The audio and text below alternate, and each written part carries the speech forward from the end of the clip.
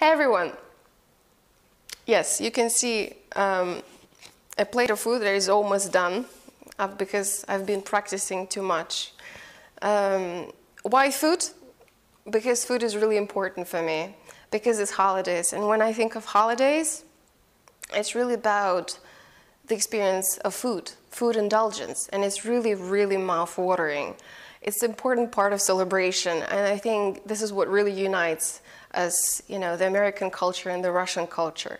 So um, I find it pretty hard to try and control yourself and try and eat like a bird during the holidays. So you know what I say?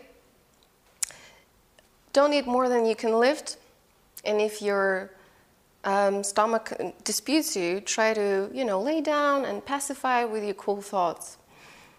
So, Merry Christmas and a Happy New Year. I hope your year will be full of luck and will be extremely happy. Uh, make mistakes. Um, really, really do make mistakes because you discover a lot. And may your everyday um, treasures become the golden memories of tomorrow. That's about it. Yeah, guys. Happy New Year.